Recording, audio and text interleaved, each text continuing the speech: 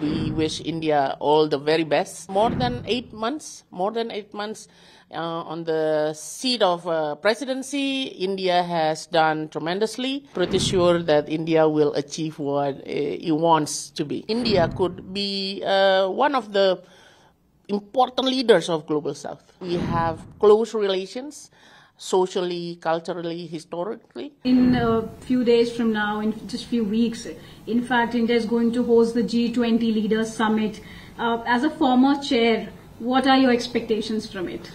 Pleasure to be with uh, ANI again. Um, on G20 Summit, of course, I wish India the very best. It's a big, one of the biggest engagement of leaders. Um, so we wish India all the very best, logistically and substantively. And for sure, India, um, looking at uh, already seven, more than eight months, more than eight months uh, on the seat of uh, presidency, India has done tremendously um, in bridging all uh, differences. So I'm pretty sure that India will achieve what uh, it wants to be. Ma'am, India has put some uh, ambitious agendas on the table. Mm. How do you think these are different with the ones that you had during your presidency? Okay, um, this um, presidency, um, the added value of India's presidency um, is that India comes in uh, the second after Indonesia as emerging economies. And as you may know, uh, under this, the G20 presidency, for emerging economies will be in the helmet until 2025. So India's presidency, as we have agreed since um, being Troika for um, one year almost, uh, we have consultation, coordination to ensure one, the voice of emerging economies are heard, Second, continuity and convergence of agenda of emerging economies are on table. And third, making sure that the continuity and convergence not only in the G20, but also between multilateral fora also happen and for the benefit of emerging economies. Ma'am, Russia-Ukraine war uh, is something which is undoubtedly would be on the agenda and would be the most watched thing. Mm. What are your views on that? Well, for sure, um, in Indonesia, hope that the G20 summit will bring all leaders together on the table.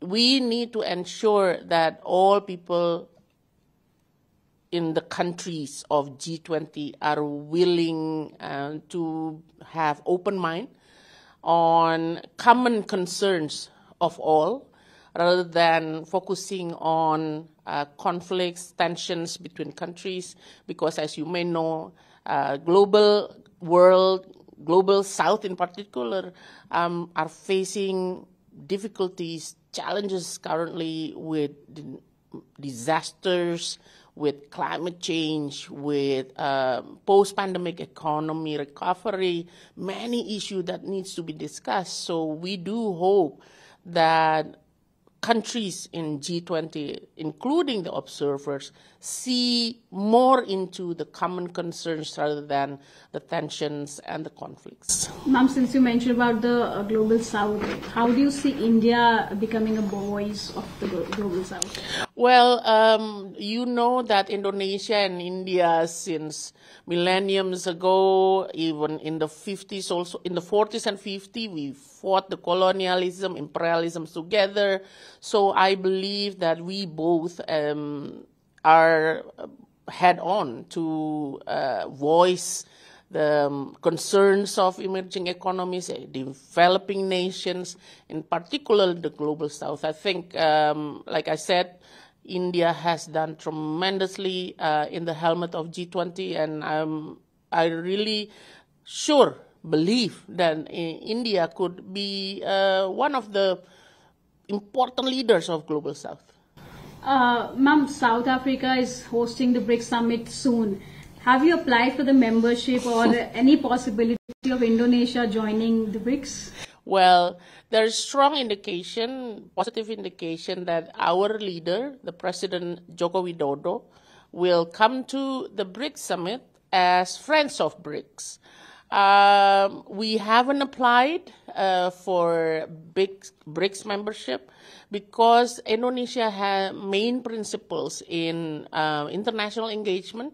Always we are open to anything, everything, but at the same time learning from past experience, including APEC, you know, APEC, um, APEC, learning from ASEM, ASEM, as well as ASEAN and EAS. When it comes to membership, the criteria, the um, uh, interest, the modalities needs to be clear first uh, before uh, engagement or enlargement in this matter um, is on place. So uh, Indonesia is open-minded in when it comes to membership, but the criteria and modalities needs to be very clear. And is your president coming for the G20 summit? The confirmation is there? Positive indications are there because we need to uh, support, to give strong support to India as Troika of G20 presidency. Ma'am, my last question. In Jakarta, ASEAN foreign ministers meeting took place last month, of which, of course, Indonesia is a part too. Uh, uh, our foreign minister, during his interaction, said that there is a natural attachment between these two countries. How did you saw that statement and this ASEAN grouping in the meeting? Well, natural attachment is for sure um, a reality, uh, a factual indeed. First, you know that we swap presidency of G20 last year and this year with India. You, you know, no countries, when it's not close, will swap this kind of thing, the big uh, issue like this. Second, we also see that in ASEAN India, um, we, uh, as the chair, making sure that there is an elevation of uh, engagement between ASEAN and India. So uh, this chairmanship of Indonesia in ASEAN is to ensure that the elevation of comprehensive strategic partnership between ASEAN and India will be concretize in uh, more implementable programs so that we will uh, make sure that um, the epicentrum of growth and also uh, where ASEAN and India matters are there. So I think uh, natural means we have um, the past, in the past, we have close relations socially, culturally, historically.